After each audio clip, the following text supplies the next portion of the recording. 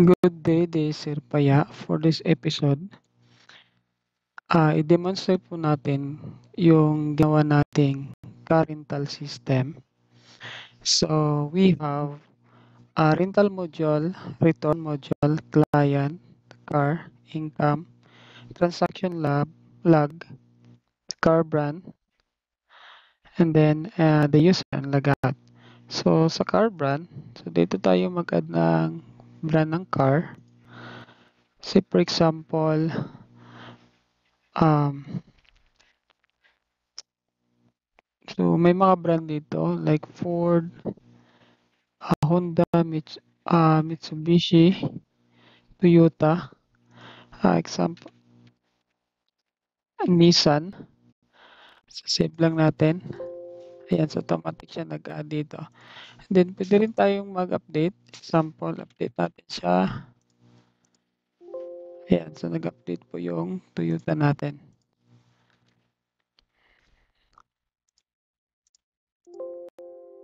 Tapos, pwede rin natin siyang i-delete. No?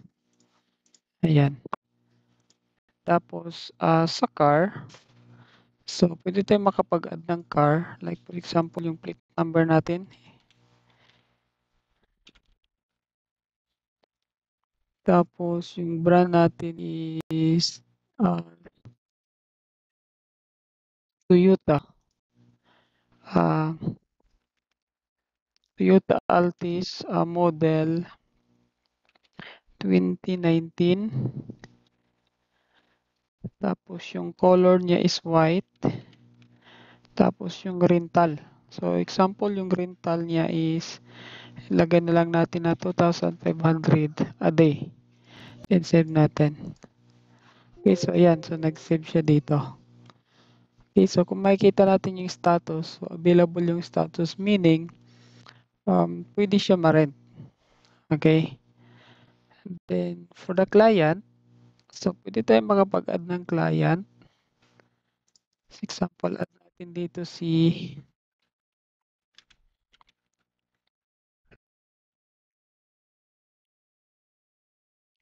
Tom. Address Surigao City. So, birthday niya is example Lagyan lang natin 20, 20, uh, 21. Uh, 9. Tapos contact number niya. Example ng contact number niya. Identification. So, naka-fix na ito siya. Ayan. So, i-update nyo na lang if gusto nyong maglagay ng uh, maintenance for identification. So, for example, company ID. Then, lagyan na lang natin dito yung company ID. Tapos, save. Ayan. So, may mga record na. Okay? Then, so, it is editable. Ayan siya. And then, for rental, say for example, mag-rent tayo. No? So, automatic nag-generate yung kanyang transaction number. Okay. And then, search natin yung client. So, example ng client. Tapos, ito is yung plate number. So, example, plate number niya. Tapos, one day. So, automatic sa mag-adjust if two days yung rental. At uh, 3 days, automatic siya. Depende yung magkano yung uh, rental. So, example, one day, then rent natin a car. So, pwede makapag-rent pa ng another car. Example, ayan. Tapos, rent. Okay, so, if uh, i-delete natin, so automatic mag-delete dito sa kanyang uh, rent, no? And then, automatic so mag um, back yung status ng car to available. And then, pay natin. So, ito yung total amount na babayaran. So, example, lagay natin is 6,000. Si payment. Okay. And then dito, sa car, so makikita natin yung borrowed na car.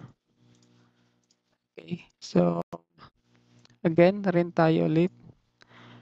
Then, Apari, Tom. Tapos, yung makikita na lang natin dito is the available uh, car.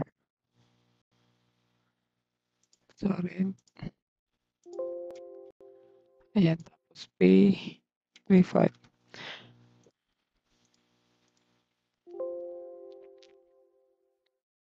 So, check natin the car. So, we have two available. Okay. And then, return. So, if ever uh, i-return natin, ayan siya. And then, select lang natin, ah. Select. Tapos, dito, if uh, mag mag-due yung car, rental lang car, so automatic, uh, makikita natin dito kung magkano yung charge. So, yung charge niya is uh, daily, kung magkano yung rental charge ng, ng car. So, so hindi niya ma-return if ever na may uh, uh, nag-due, no? So, pag ito is, ayan, so pwede siyang ma-return. Example, ito is pwede siyang ma-return. Ayan. Is Ayan, return. So, try natin. If mag-due, no? So, what will happen if mag-due yung kanyang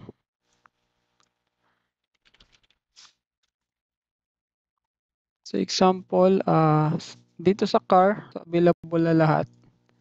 So, rent. Tapos, example dito is Tom. And then, rent a car.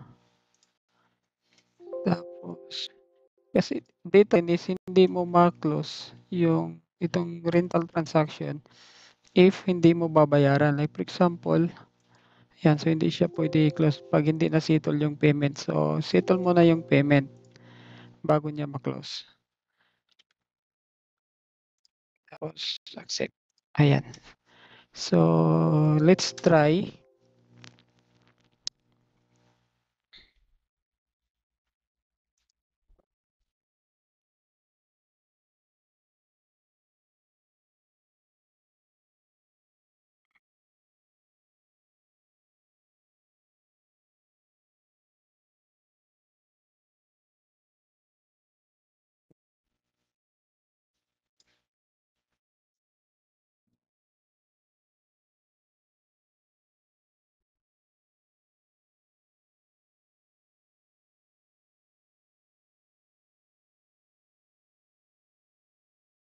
Okay, so rental DB.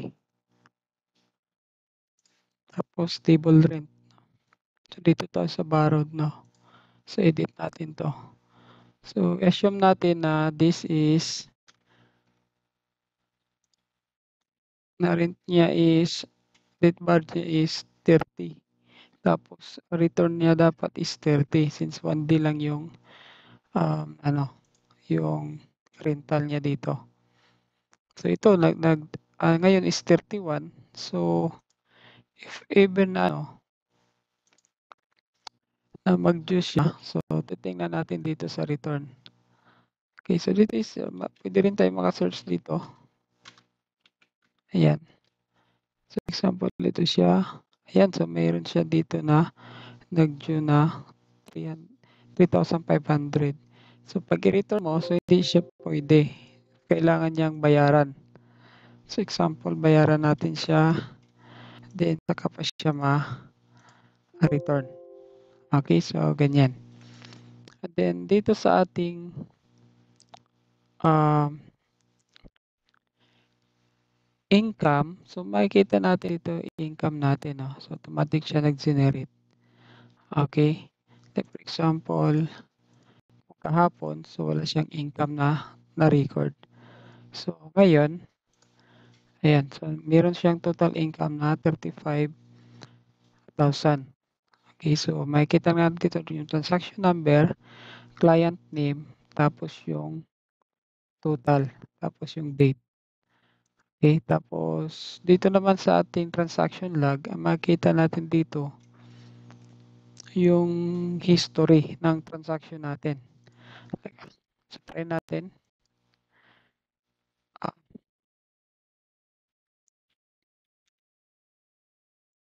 Try natin. Tapos rent natin. Tapos pay natin ng 4,000.